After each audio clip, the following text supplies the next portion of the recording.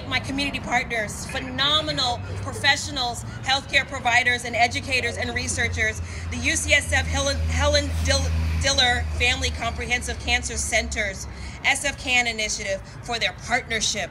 Ladies and gentlemen, SF CAN has been working for for over a year to educate the public about the importance of ending the sale of menthol and other flavored tobacco products in San Francisco. I'm particularly grateful to have Dr. Valerie Yerger right here. particularly grateful to have Dr. Valerie Yerger, uh, Sister Carol McGruder, and Dr. Phil Gard Gardiner for their leadership on the specific issue. They've educated me and they loved me through this entire process, and so it's a privilege to stand and carry this legislation today.